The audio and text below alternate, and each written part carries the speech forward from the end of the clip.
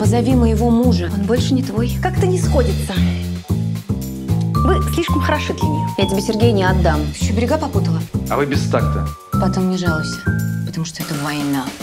Будем делать искусственное дыхание. Отойди от меня, извращенка! Вернись, я все прощу. Какую премию? Международную? Сколько? Придется проехать в участок. Я никуда не поеду, я не преступница. Вот об этом в участке расскажите. Пойдем. Сереж,